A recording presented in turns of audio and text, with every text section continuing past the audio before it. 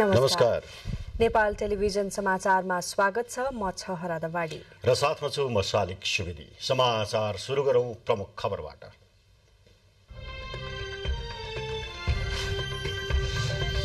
नेकपा माओवादी केन्द्रको तीन महिने रूपान्तरण विशेष अभियान सुरु। अभियान मार्फत माओवादी जनताको भरोसा योग्य पार्टी बन्ने अध्यक्ष प्रचण्डको विश्वास।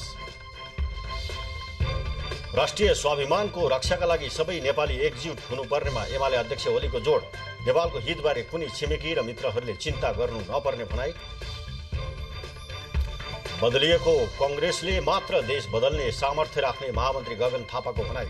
अरूले गरेको भ्रष्टाचारको भाडी पार्टीले बोकेर हिँड्न नमिल्ने स्पष्ट? नेपाल नागरिक उड्डयन प्राधिकरणद्वारा हवाई सेवा सञ्चालनको नयाँ मापदण्ड तयार। वायु सेवा कम्पनी खोल्न तीनवटा जहाज अनिवार्य। पाइलटको व्यावसायिक गतिविधिमा रोक।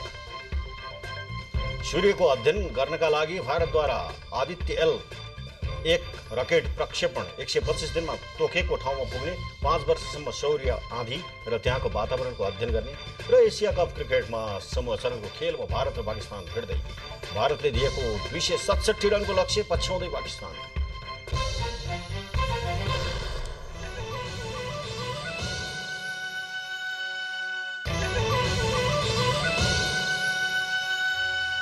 समाचार अब विस्तारमा। प्रधानमन्त्री पुष्पकमल दाहाल प्रचण्डले वर्तमान सरकारले सुशासन सामाजिक न्याय र आर्थिक समृद्धिको पक्षमा अभियान सुरुवात गरेको बताउनु भएको छ। नेकपा माओवादी केन्द्रले आजदेखि सुरु गरेको रूपान्तरण विशेष अभियान अन्तर्गत चन्द्रागिरी नगरपालिका दुई घाटे डाँडामा आयोजित कार्यक्रमलाई सम्बोधन गर्दै उहाँले जनताले हैरानी बेहोर्नु नपरोस् भनेर सेवा प्रभावमा सुधार थालिएको बताउनुभयो प्रधानमन्त्रीले सबै तहका श्रमिकलाई सामाजिक सुरक्षाको प्रत्याभूति गराउन सामाजिक सुरक्षा योजना सञ्चालन गरिएको बताउनुभयो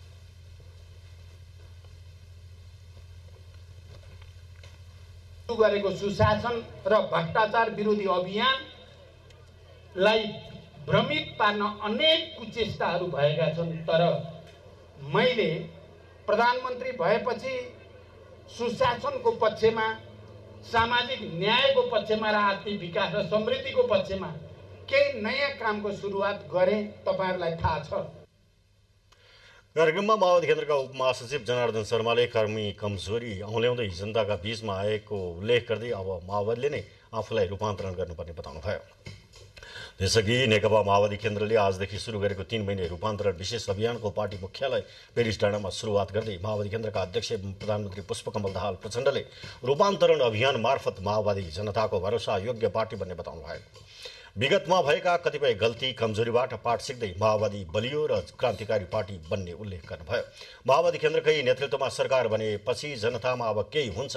श्रमजीवी जनताले देखेको सपना पूरा हुन्छन् भन्ने आशा पलाएको दावी गर्दै अध्यक्ष दाहालले अभियानका क्रममा सबै जनताका घरमा पुग्ने योजना निर्माण गरिएको बताउनुभयो। यस क्रममा जनताका कुरा सुन्ने तथा सुझाव र आलोचना ग्रहण गरिने बताउँदै अध्यक्ष दाहालले आफ्नो नेतृत्वको सरकारले भ्रष्टाचार नियन्त्रण सुशासन कायम तथा सेवा प्रवाहमा सुधारको थालनी गरिएको पनि बताउनुभयो।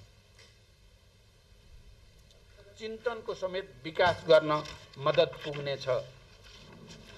अहिले मेरो नेतृत्वमा रहेको सरकारले सामाजिक न्यायको प्रत्याभूति सुशासन सार्वजनिक सेवा प्रवाहमा जनताको सहज पहुँच र विकासलाई मुख्य प्राथमिकता दिँदै काम गरिरहेको छ। सरकारले इतिहासले नै सम्झिने गरी कैयौँ साहसिक र जनपक्षीय कामहरू अगाडि बढाइरहेको छ। एकपछि अर्को गर्दै सरकारबाट अघि सारिएका कामहरूले जनतामा राजनीति र व्यवस्थाप्रति नै विकास हुँदै गएको निराशा चिरेर आशा र भरोसाको वातावरण सृजना गरिरहेको छ। नेकपा माओवादी केन्द्रका उपाध्यक्ष एवं प्रवक्ता अग्निप्रसाद सापकोटाले कृषि उद्योग र विज्ञानले नै देशलाई समृद्ध बनाउन सक्ने बताउनु भएको छ सिन्धुपाल्चोकको लिसङखु पाखर गाउँपालिकाबाट जनतासँग माओवादी विशेष रूपान्तरण अभियानको सुरुवात गर्दै उहाँले हाम्रो देशमा सबै कुरा भएर पनि इच्छा शक्ति र इमान्दारिता नभएकै कारण देशले विकासको लय पक्रन नसकेको बताउनु भयो देशलाई कृषिमा आत्मनिर्भर बनाउन सकिएमा देश स्वाधीनतातिर लम्कने उहाँले बताउनु भयो प्रवक्ता सापकोटाले जनता र उत्पादनसँग जोडिन कार्यकर्ताहरूलाई निर्देशन पनि दिनुभयो। नेपालमा केही कुराको कमी छैन कुराको कमी छ भने दूरदृष्टिको कमी छ। कुराको कमी छ भने इच्छा इच्छा शक्तिको कमी छ। कमी छ भने प्रतिबद्धताको कमी छ। कमी छ भने सङ्कल्पको कमी छ। त्यसकारण सारा तागत लगाएर प्रयत्न गरौँ। फेरि पनि हामी यो देशमा नेपाली जनताको त्यो समाजवादलाई स्थापना गरी सपना साकार पार्न सक्छौँ। सञ्चार तथा सूचना प्रविधि मन्त्री रेखा शर्माले वर्तमान सरकार सुशासन समृद्धि र सामाजिक न्यायको बाटोमा अघि बढिरहेको बताउनु भएको छ। नेकपा माओवादी केन्द्रले आजदेखि सुरु गरेको तीन महिने विशेष रूपान्तरण अभियान उद्घाटनका अवसरमा दाङको घोराहीमा आयोजित कार्यक्रममा मन्त्री शर्माले वर्तमान सरकार गठन भएदेखि निरन्तर जनताको सेवा सुविधा र सुशासनलाई प्राथमिकतामा राख्दै काम गर्दै आएको बताउनुभयो नेकपा माओवादी केन्द्रका स्थायी समिति सदस्य समेत रहनुभएकी मन्त्री शर्माले पार्टी जनतामा फर्कने अभियान सुरु भएको उल्लेख गर्नुभयो।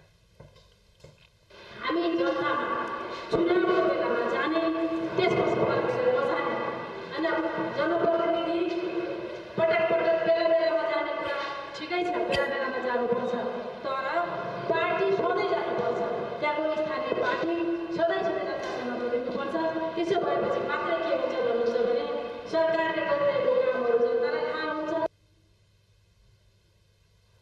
नेकपा एमालेका अध्यक्ष केपी शर्मा ओलीले राष्ट्रिय स्वाभिमानको रक्षाका लागि सबै नेपाली एकजुट हुनुपर्ने बताउनु भएको छ। नेकपा एमालेको प्रथम लुम्बिनी प्रदेश अधिवेशन आज बुटवलमा उद्घाटन गर्दै अध्यक्ष ओलीले राष्ट्रिय स्वाभिमान झुक्न नदिने बताउनुभयो नेपालको स्वाभिमान र हितबारे कुनै छिमेकी र मित्रहरूले चिन्ता गर्नु नपर्ने अध्यक्ष ओलीको भनाइ छ। बुटवलको अन्तर्राष्ट्रिय सम्मेलन केन्द्रमा आयोजित अधिवेशन उद्घाटन समारोहमा अध्यक्ष ओलीले सुशासन र समृद्धिका लागि नेतृत्व गर्ने देश र जनताका लागि काम गर्ने सरकार चलाउन चाहने पार्टी एमाले भएको दावी समेत गर्नुभयो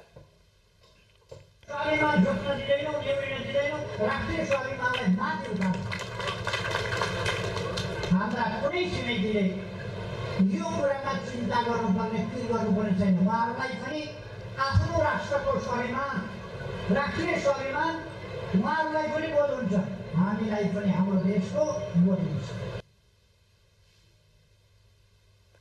नेपाली कंग्रेसका महामन्त्री गगन थापाले जनतामा ठूलो छटपटी र आक्रोश बढ़िरहेको हुँदा बदलिएको कंग्रेसले मात्र देश बदल्ने सामर्थ्य राख्ने बताउनु भएको छ। नेपाली कंग्रेस मेची नगर समितिको धुलाबारीमा आयोजित नगर सम्मेलनमा उहाँले सबैजसो राजनीतिक दलको नेतृत्वले गलत क्रियाकलाप गर्दा समाजले आत्मविश्वास गुमाएको जनाउँदै कंग्रेसले अब जरेदेखि रूपान्तरित भएर गुमेको आत्मविश्वास फर्काउनु पर्ने बताउनुभयो। महामन्त्री थापाले कंग्रेसकै कोही नेताले पनि भ्रष्टाचार गरेको रहेछ भने त्यस्तो पापको भारी पार्टीले नबोक्ने स्पष्ट पार्नुभयो। प्रमुख दलका नेताहरूले एउटाले अर्काको भ्रष्टाचारको पोल खोल्छु भनेर तर्साउने गरेको समेत उहाँको आरोप छ। सिना मसिना विषयमा यो दाइले यो गर्नुभयो यो नेताले यो गर्यो यसमा खेर नपार्नु पार्टीको सुक्का नेपाली कङ्ग्रेसको क्यारेक्टर कसरी फर्काउने? काङ्ग्रेसलाई काङ्ग्रेस जस्तो कसरी बनाउने? यसमा छलफल गर्नु। समाचारको क्रम जारी छ अब केही बेर विश्राम।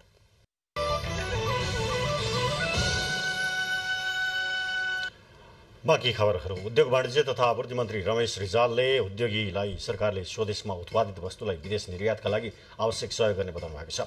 भैरवा स्थित विशेष आर्थिक क्षेत्र सेजको निरीक्षणपछि बोल्दै मन्त्री रिजालले सेजमा स्थापित र अब स्थापना हुने उद्योगलाई सरकारले थप सुविधा दिन तयार रहेको बताउनुभयो। उहाँले उद्योगी व्यवसायलाई सहयोग गर्दै अवसर दिएर उत्पादन वृद्धि गरी निर्यातलाई प्रोत्साहन गर्नुपर्ने बताउनुभयो। मन्त्री रिजालले उद्योगीलाई सहयोग गरे मात्रै मुलुक समृद्धितिर जाने उल्लेख गर्नुभयो।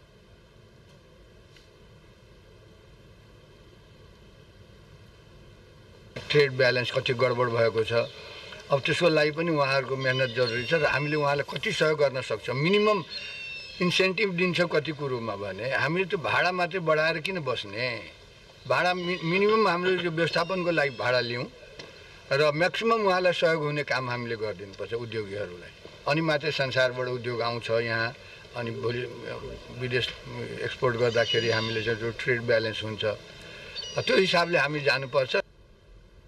निर्यातजन्य उद्योगलाई संरक्षण गर्न सरकार तयार रहेको मन्त्री रिजालको भनाइ छ। परराष्ट्र मन्त्री एनपी सावतले कला र साहित्य मार्फत पनि देशको भूगोल चिनाउन सहयोग मिलेको बताउनु भएको छ। कञ्चनपुरदेखि कञ्चनजङ्घा कवितामय फनको देशको शीर्षक रहेको कविता सङ्ग्रह काठमाडौँमा आयोजित कार्यक्रममा विमोचन गर्दै मन्त्री सावतले फोटोसहित छापिने सामग्रीहरू अझ प्रभावकारी हुने बताउनुभयो। यस्ता कविता सङ्ग्रहहरूले प्रा प्राकृतिक कुरालाई समेट्नका साथै मौलिकता पनि झल्काउने भएकाले नेपालको भूगोल विश्व समेत चिनाउन सहज भएको उहाँको भनाइ छ। कवि हिक्मत सिम ऐरीद्वारा लिखित कविता सङ्ग्रहमा देशभरका महत्त्वपूर्ण पर्यटकीय स्थल र त्यहाँका संस्कृतिलाई कविता मार्फत प्रस्तुत गरिएको छ।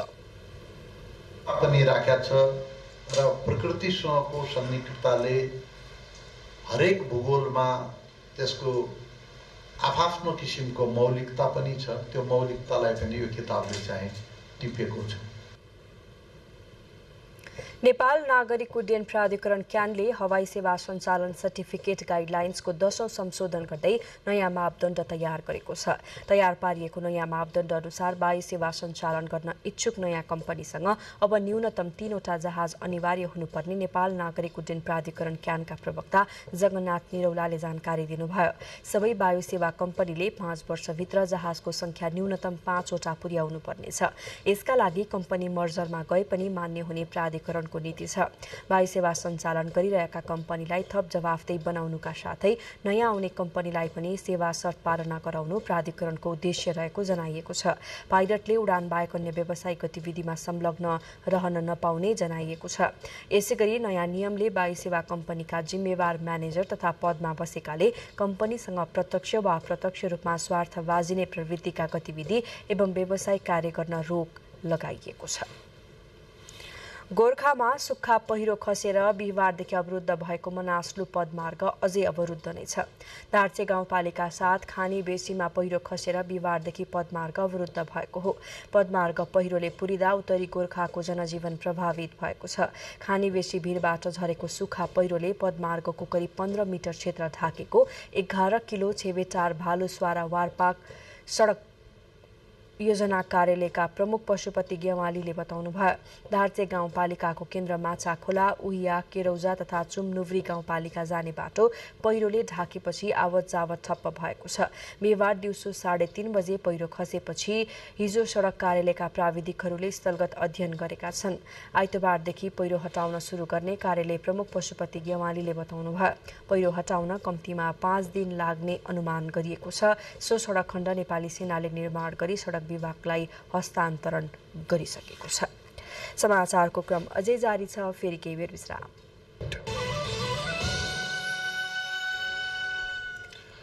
बाँकी खबरहरू।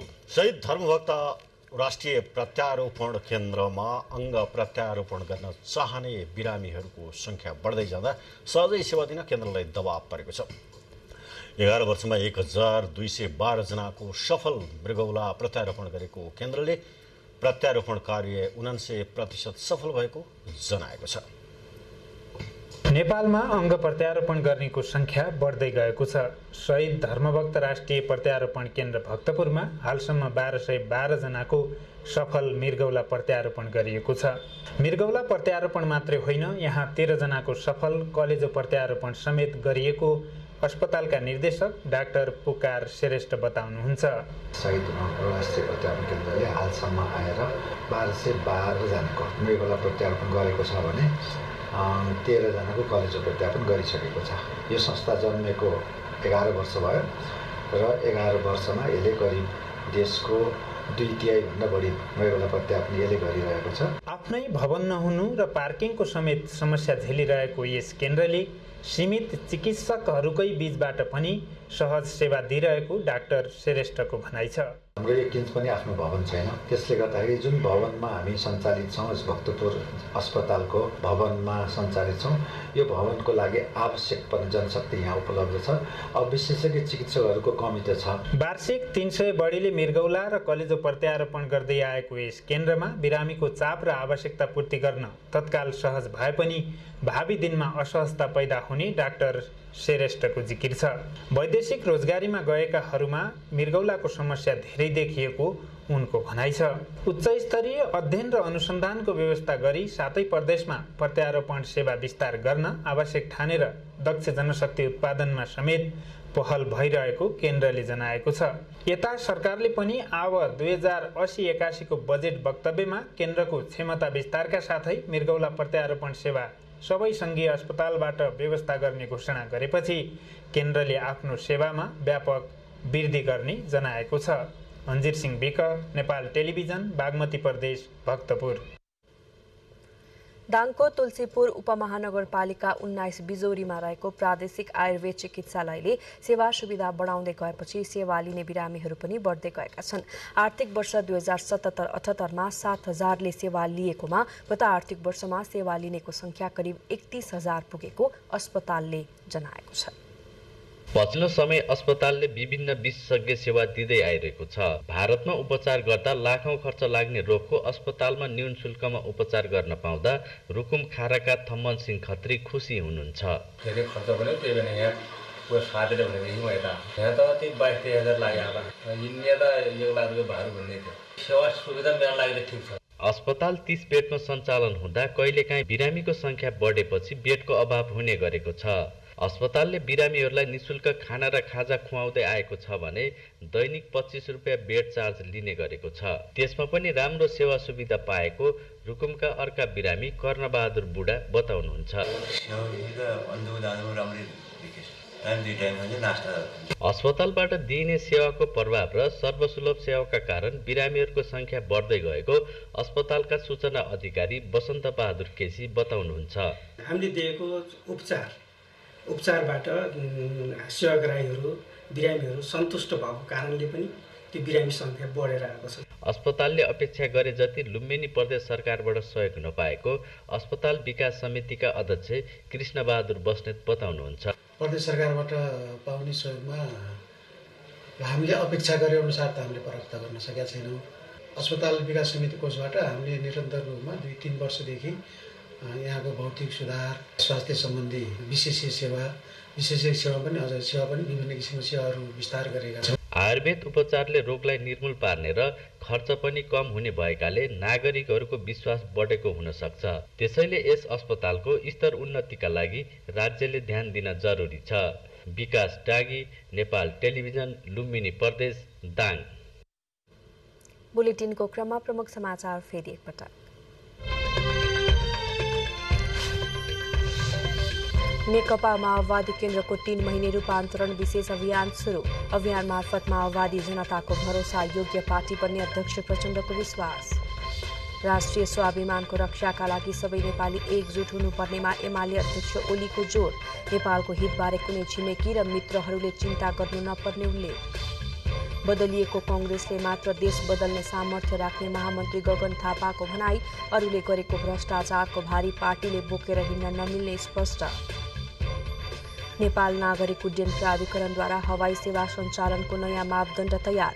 वायु सेवा कम्पनी खोल्न तीनवटा जहाज अनिवार्य पाइलटको व्यवसायिक गतिविधिमा रोक सूर्यको अध्ययन गर्नका लागि भारतद्वारा आदित्य एल वान रकेट प्रक्षेपण एक सय पच्चिस दिनमा तोकेको ठाउँमा पुग्ने पाँच वर्षसम्म सौर्य आँधी र त्यहाँको वातावरणको अध्ययन गर्ने। र एसिया कप क्रिकेटमा सम्मचरणको खेलमा भारत र पाकिस्तान भिड्दै भारतले दिएको दुई सय सडसठी रनको लक्ष्य पछ्याउँदै पाकिस्तान।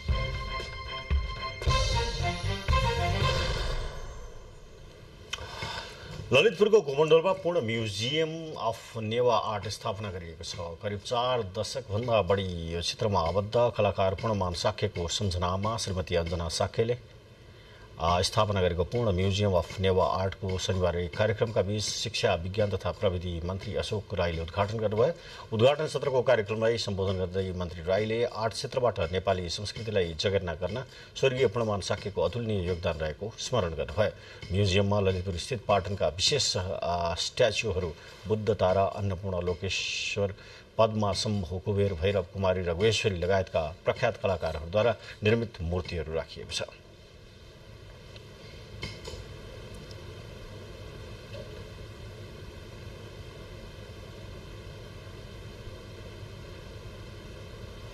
अब अन्तर्राष्ट्रिय समाचार गत महिना चन्द्रमाको दक्षिणी ध्रुवमा चन्द्रयान तीन पठाएको भारतले आज सूर्यको अध्ययन गर्नका लागि आदित्य एलवन रकेट प्रक्षेपण गरेको छ। आन्ध्र प्रदेशको श्रीहरिकोटा स्थित सतीश धवन अन्तरिक्ष केन्द्रबाट भारतीय समयअनुसार बिहान एघार बजेर पचास मिनटमा प्रक्षेपण गरिएको सो रकेटले पृथ्वीदेखि पन्ध्र लाख किलोमिटरको दूरीमा रहेर सूर्यको अध्ययन गर्नेछ। एक सय पच्चिस दिन लगाएर सो ठाउँमा पुग्ने रकेटले सूर्यको सम्मुख रहेर पाँच वर्षसम्म सौर्य आँधी सौर्यमण्डल तथा त्यहाँको भित्री र बाहिरी वातावरणको अध्ययन गर्नेछ। अध्ययनका लागि रकेटमा विभिन्न सातवटा उपकरणहरू रहेका छन् जसले बेग्ला बेग्लै विषयमा अध्ययन गरी पृथ्वीमा प्रतिवेदन पठाउनेछ।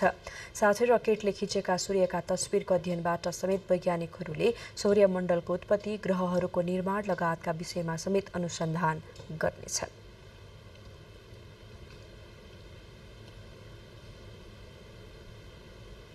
बाँकी समाचार एकैछिनपछि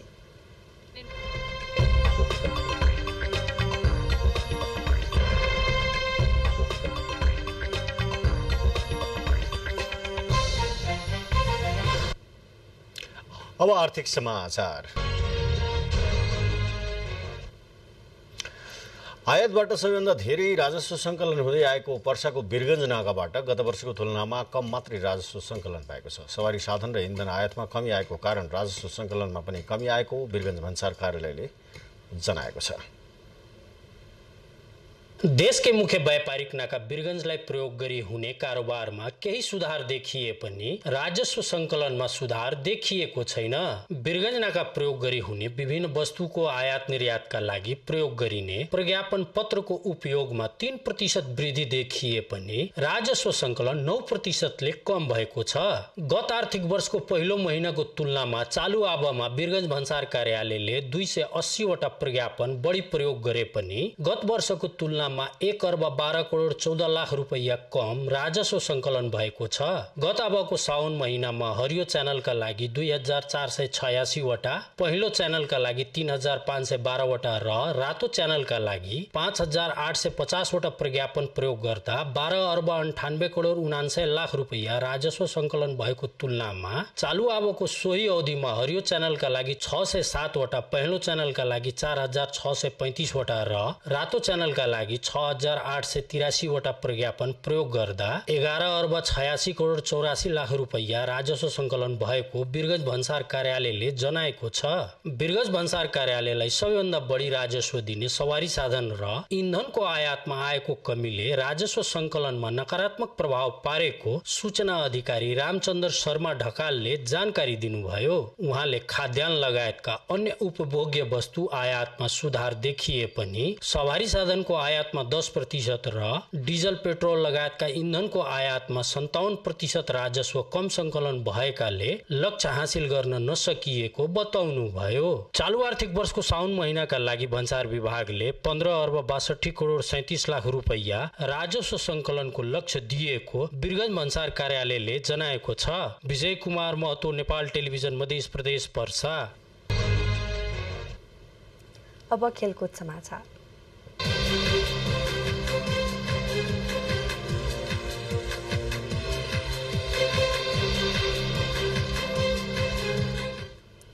एसिया कप क्रिकेटमा जारी समचरण अन्तर्गतको खेलमा आज चिर परिचित प्रतिस्पर्धी भारत र पाकिस्तान भिडिरहेका छन्। नेपालकै सम्ममा रहेका यी दुई टोलीबीच श्रीलङ्का स्थित ककेट रङ्गशालामा अहिले प्रतिस्पर्धा भइरहेको छ।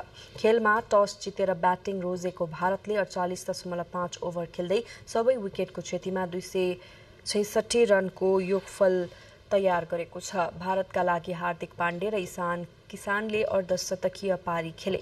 हार्दिकले सतासी र इसानले बयासी रन बनाएका थिए। भारतले दिएको दुई सय सडसठी रनको विजय लक्ष्य पछ्याउँदै पाकिस्तानले अहिले ब्याटिङ गरिरहेको छ। एसियाली क्रिकेटको आयोजक पाकिस्तान भए पनि भारतले पाकिस्तानमा नखेल्ने बताएपछि श्रीलङ्कामा पनि खेलहरू आयोजना भइरहेको हो। प्रतियोगितामा नेपालले सोमबार भारतसँग खेल्ने तालिका छ।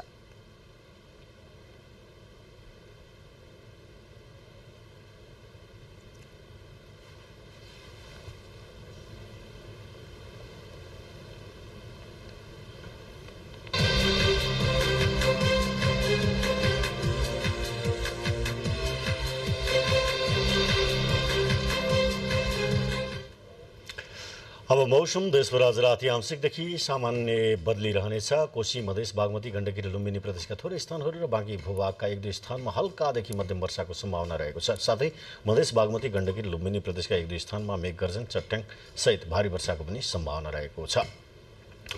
अब मौसम सम्बन्धी थप विवरण।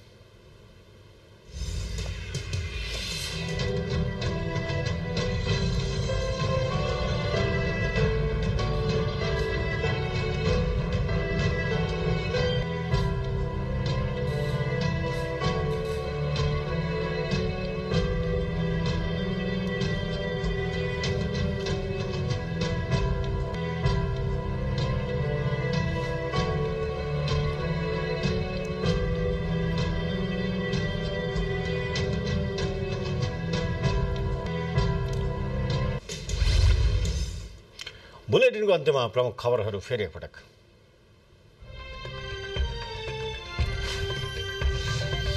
नेकपा माओवादी केन्द्रको तीन महिने रूपान्तरण विशेष अभियान सुरु अभियान मार्फत माओवादी जनताको भरोसा योग्य पार्टी बन्ने अध्यक्ष प्रचण्डको विश्वास राष्ट्रिय स्वाभिमानको रक्षाका लागि सबै नेपाली एकजुट हुनुपर्नेमा एमाले अध्यक्ष ओलीको जोड नेपालको हितबारे कुनै छिमेकी र मित्रहरूले चिन्ता गर्नु नपर्ने भनाई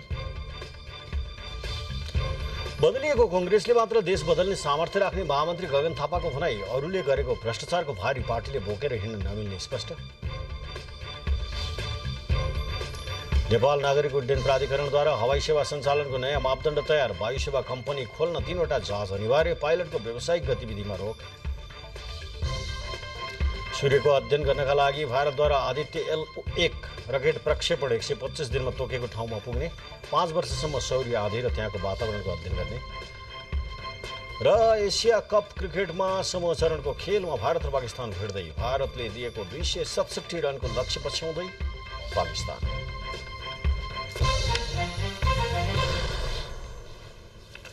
हवस् त यो समाचार बुलेटिन यहीँ सकिन्छ। हामीलाई बिदा दिनुहोस्। नमस्कार। नमस्कार।